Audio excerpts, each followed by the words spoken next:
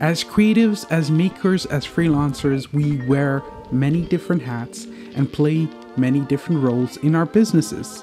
I've found through the years that the key to staying fruitful and productive is being organized, which means the tech and the gear we choose to use needs to be both versatile and robust, and most importantly, help us stay organized.